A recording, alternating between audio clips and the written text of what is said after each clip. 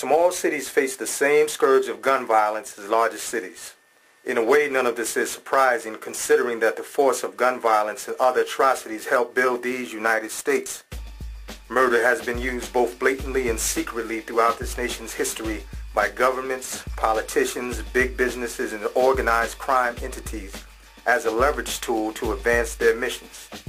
Now at the street level, the same violent tactics used by the aforementioned groups to steal resources and wealth from lesser organized structures have been turned inward and employed as an option by average citizens to fill in the gaps, make ends meet, fund endeavors, and indulge compulsions.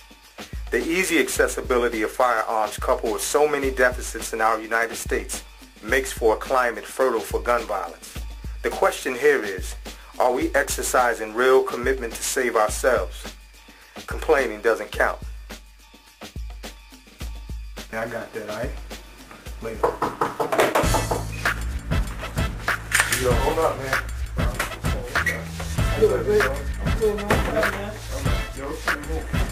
I'm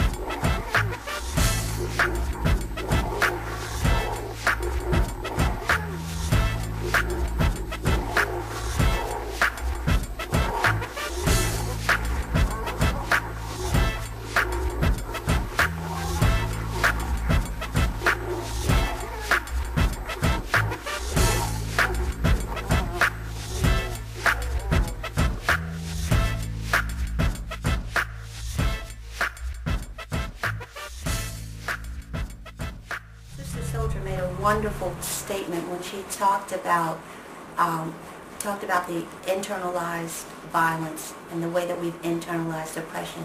She said that we should, instead of turning it inward, we should really understand who the oppressor is, and instead of killing ourselves, we should be looking about overcoming our oppression. Um, I think that is true because um, the violence that we visit on each other in the African community is, is comes from a larger um, sense of oppression or alienation. So we internalize it because the closest people to us are the people who are going to be the victims of, of aggression. So violence becomes an issue, a major issue for us because we kill each other.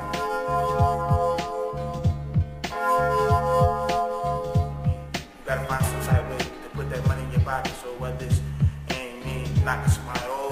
hustling, and it's, I mean, not not so much as the choice that we've been given, but I mean, we were forced into do because you know, jobs are being cut left and right, you know So you gotta find some way to feed I mean, yourself as well as you know your people.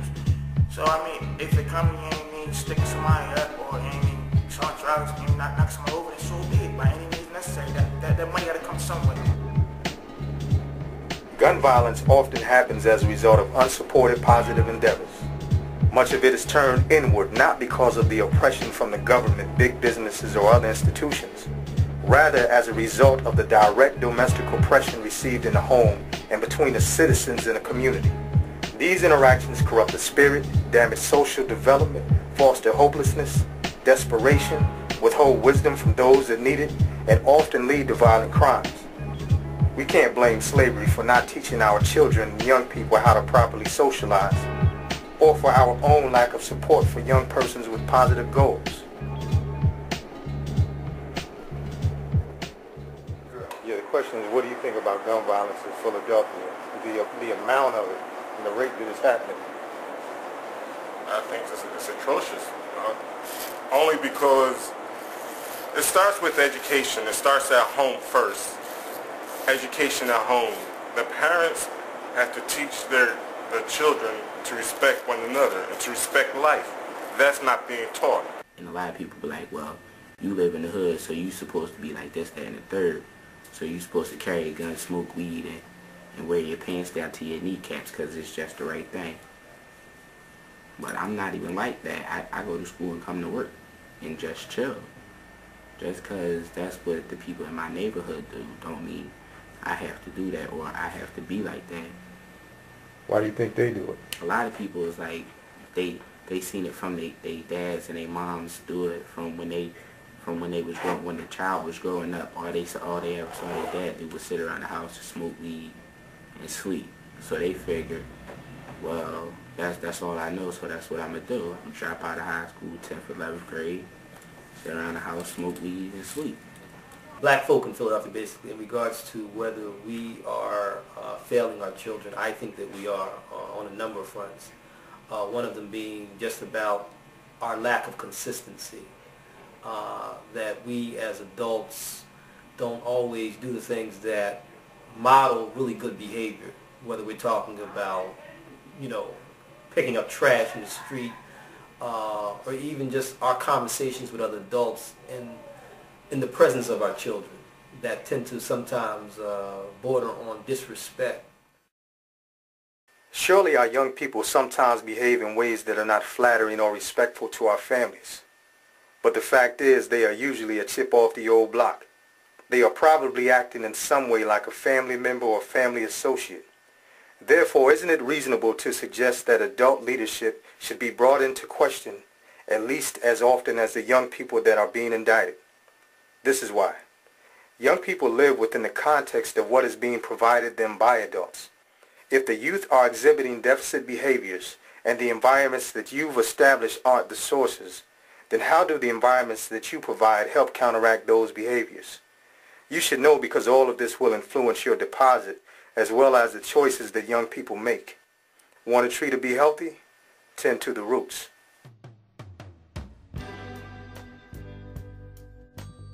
See, I think um, when we talk about ending gun violence and, and who's responsible, I think the responsibility starts at home with parents taking their job seriously and putting purpose into children, putting a sense of values in the children, exposing them to opportunities, as many opportunities as they can, that they may choose something positive.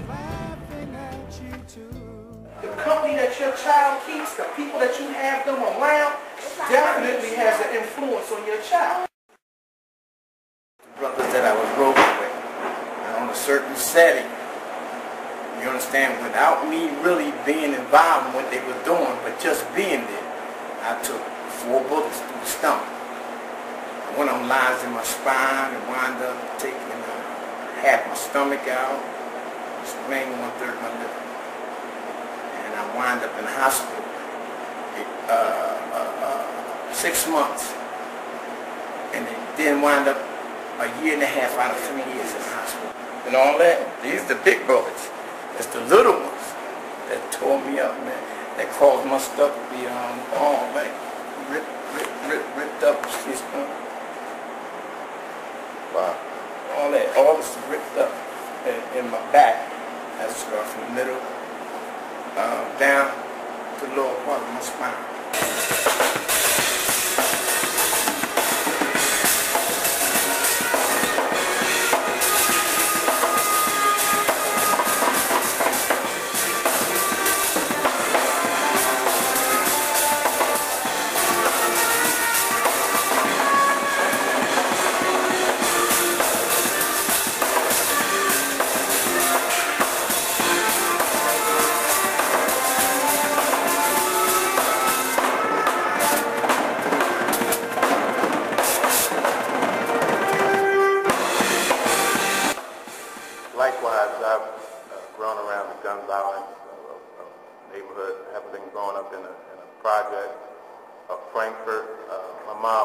Particularly uh, sent me to the Northeast Boys and Girls Club where I learned to play the piano at the age of 10. So I'm grateful for that. I've been playing for over 20 years. And ultimately, it, it just kept me away from the negative stuff in the streets, the gun violence, the hanging on the corners, like LeVar said, the drugs, the peer pressure. So I'm grateful to my mother who uh, basically told me, look, you're going to do this. You're not going to be out caught up in the streets. And that just ultimately led me to greater things. the company that your child keeps, the people that you have them around,